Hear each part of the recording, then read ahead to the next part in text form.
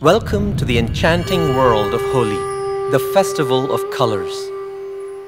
This exuberant celebration in the month of Falguni, February March, is a major holiday in North India and Nepal, ushering in the warmth and joy of spring.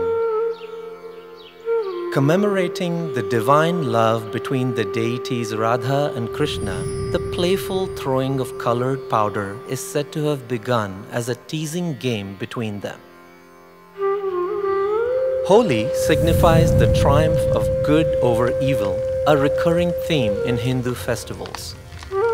In many parts of India, a huge bonfire is made the night before, in which an effigy of Holika who personifies negativity is consumed in the flames.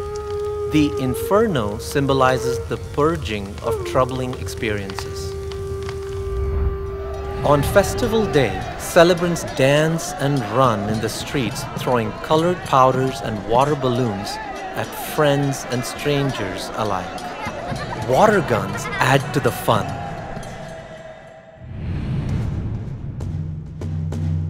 Traditionally, Holi colors were derived from plants.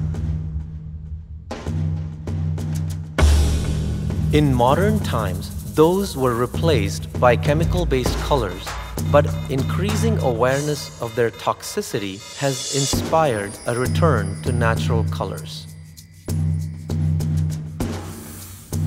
On this day, the practical-minded wear old, usually white clothes anticipating the delightful mess to come. Virtually anything goes, including humor, practical jokes, and teasing. All excused with the Hindi saying, Bura na mano, holi hai, which means, don't mind, it's Holi. During the rowdy revelry, everyone seeks to accept festive gestures in the spirit of love and merriment. The festival is popular among Hindus overseas, especially in Mauritius, the US, the Caribbean, Canada, South Africa, and Australia.